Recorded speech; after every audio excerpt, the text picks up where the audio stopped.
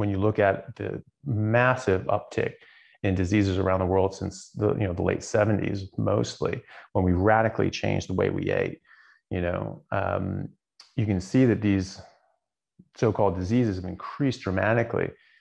And uh, you know the obesity rates tripled heart disease tripled stroke rates tripled cancer rates have tripled type 2 diabetes autoimmune disorders alzheimer's parkinson's even developmental delays and you know such as autism miscarriages all these sorts of things have increased exponentially.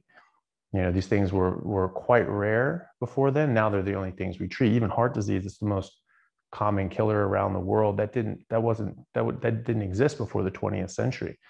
You know the first if, if i remember correctly the first description of atherosclerotic plaque and heart disease uh, was described in the 1920s um, you know that's that's brand new in in the medical world. And you know people say oh well it was probably there just people didn't notice it. And it's like well no actually like you made your name as a doctor um, by finding something new and putting your name on it.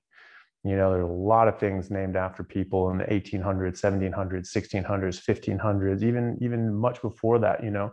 We have a vein in our brain called the vein of galen. Galen was a roman surgeon to marcus aurelius and, and, a, and a brilliant surgeon and, and doctor. And you know his teachings you know were used for 1500 years afterwards. So you know these are these are not dumb people and they you know they do pay attention.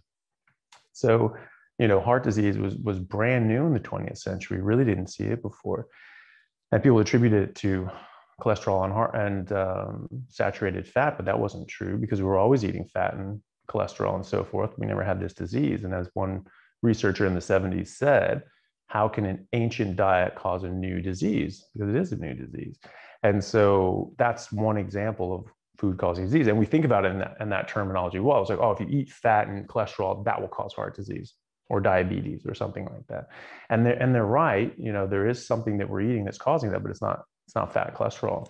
Um, number of things, usually sugar is the main thing, sugar and carbohydrates and alcohol.